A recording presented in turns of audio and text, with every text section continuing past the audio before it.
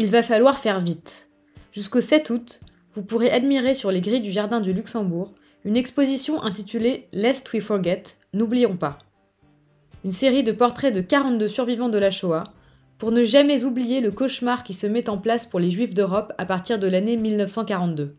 Une année charnière dans l'horreur, qui voit se dérouler la conférence de Wannsee, la mise en place de la solution finale, et plus concrètement, la déportation pour environ 42 000 juifs depuis le sol français. Seuls 3% d'entre eux ont survécu.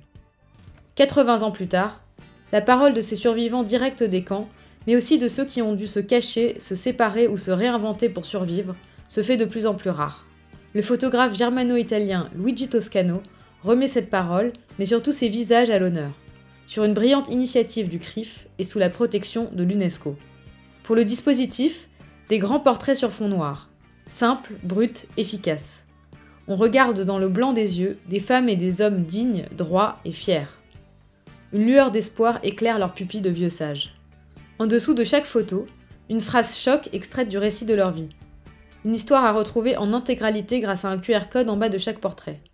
De ces récits, justement, on retiendra la peur, mais aussi l'espoir, l'héroïsme des femmes et des hommes qui ont tenu les foyers, cachés, protégés, résistés, mais aussi celui des enfants qui ont fait semblant de ne pas avoir peur.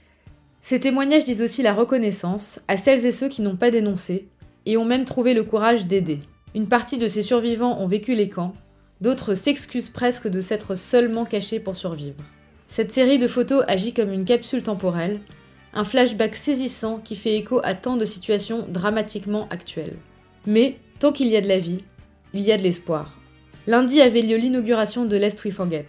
Les stars du jour posent devant leurs photos, mi-émues, mi-gênées, parfois un peu malicieuses. Ma grand-mère Claude ne fait pas exception à la règle. Sa photo est exposée à côté de celle de son amie Francine, et avec sa petite fille, nous les regardons toutes les deux jouer le jeu des interviews, en se disant qu'on a vraiment eu de la chance. Pour regarder vous aussi l'histoire en face, rendez-vous au Jardin du Luxembourg, et ce jusqu'au 7 août seulement.